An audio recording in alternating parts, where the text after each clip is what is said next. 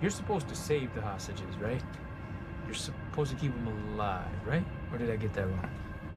I know Emily is with you. So why the fuck are you shooting at us? Where are you going? A what? Where are you going? You don't think I'm gonna hurt anyone, do you? Well, I know you've been to LAC, huh? I know you've done time at LAC, huh? You wanna fucking do more? Huh? You wanna do more? Bullshit!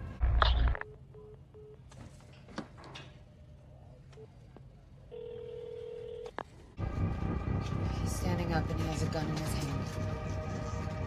Danny, I saved you. I saved both of you. Why does everybody think they are so special? I don't know what's going on nowadays. You're just like the rest of us. You're just not important. Yo, Danny, relax. No, I'm not important, but he is. I'm keeping him alive. No, we don't need you anymore. Danny, relax. You're full of shit, Danny. Am I? Danny!